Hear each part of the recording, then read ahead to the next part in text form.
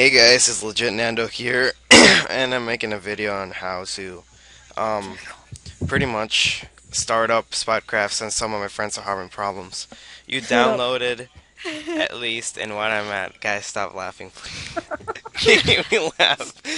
Uh, Okay, come on. alright, Get here. serious now. Yeah, get serious. Everyone get serious. Alright, so I go on this, and uh, Tyler and Liz. and then it's UK Warfare. Don't listen to all that. And then you you see how this download Spoutcraft launcher.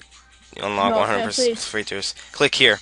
Well, let's say I already saved it and everything, but I'm just gonna show you how it works. You just click there. Will you show us? Yes, I am using Google Chrome. Tyler, Alex, shut up. you click on download Spoutcraft. Click here. You save.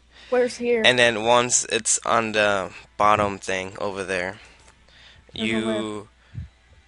God, Alex, I'm gonna kick your ass.